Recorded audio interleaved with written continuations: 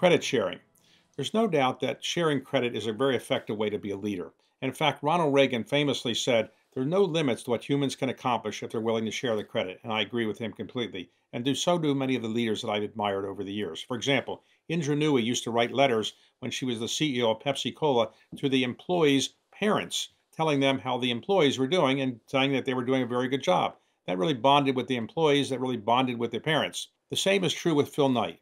Phil Knight, although many people would say he deserves most of the credit for building Nike into the great giant it is, in truth, he would say he didn't do very much. It was his employees that did it. It was his coworkers. He gives them the credit relentlessly and barely talks about his own role.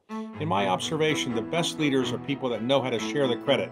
They share the credit because they really believe in it. They also do it because they think it's the best way to get people to help work with them.